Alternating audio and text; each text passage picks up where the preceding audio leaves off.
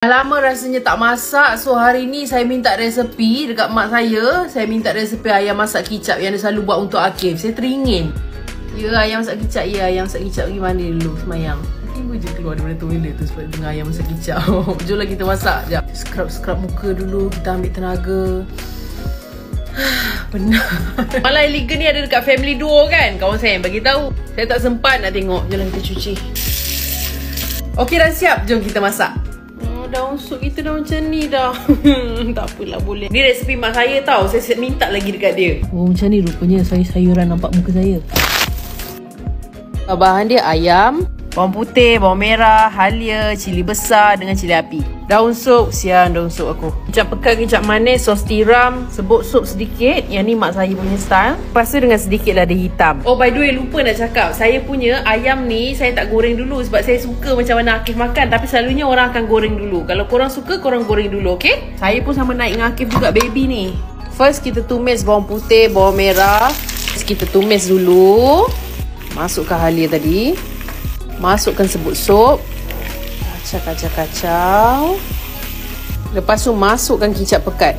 Masa masuk kicap pekat tu, kita masukkan ayam supaya ayam kita melekat lah dengan color tu. So, bila dah melekat dengan ayam tu, kita masukkan air.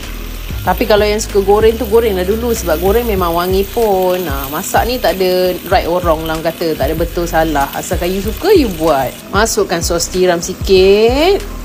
Lepas tu letak kicap manis. Kalau untuk baby, korang angkatlah yang ni dulu. Lepas tu kemudian kita punya baru kita masukkan cili api. Masukkan lada hitam.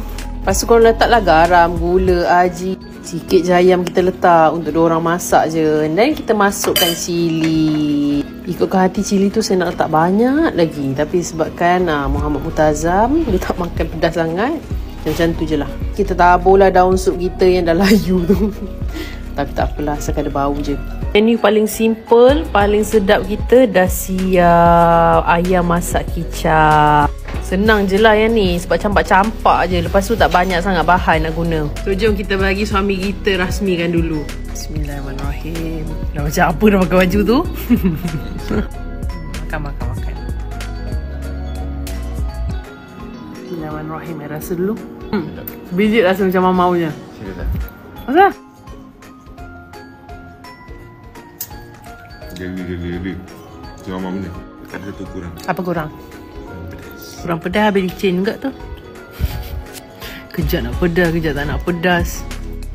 Dah tu, dah habis tu. Tambah lagi. Nak, gemuk.